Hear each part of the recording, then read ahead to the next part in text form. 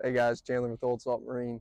Today we're at the back of the Sea-Pro 245 and I'm going to show you a couple features that are all new to Sea-Pro. So starting with this particular model, the 245 is going to offer a rear table that is completely removable. You can store it inside the console somewhere in the boat, bring it out when you get to the sandbar or the beach and you're hanging out with everybody. But basically it completely contours. You can turn it all the way around. You can spin the table. It's got four cup holders built in and it's just a great place to hang out when you're at the sandbar. When it comes completely off and can be stored inside. All that's left is just a little bar that it attaches to at the rear of the boat.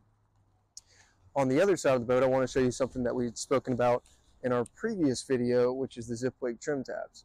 Something that's completely different about these trim tabs is you no longer have plates that control each side of the boat. A lot of people don't really understand how to use trim tabs or they never completely um, have mastered it, so to speak. So these make it really easy. They have an auto feature to where if you were to put everyone on one side of the boat and hit auto and take off, it's going to naturally plane that boat out. It's going to control the pitch and roll, so it's naturally going to ride better through rougher seas. Um, if your steering were to go out, like I mentioned prior, it'll actually use the trim tabs themselves to steer the boat back in.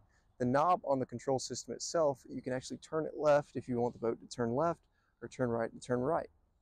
So the way these work, guys, I want to show you real quick. So instead of a plate, you'll have this tab that comes down and it's measured in millimeters. That's how small it is. But your fuel economy is greatly improved. It doesn't have nearly as much of an effect on that. It gives you an obviously slimmer look on the transom and the features are just profound. So if you have any questions about that, respond to this video. We'll be happy to answer any comments or questions that you have.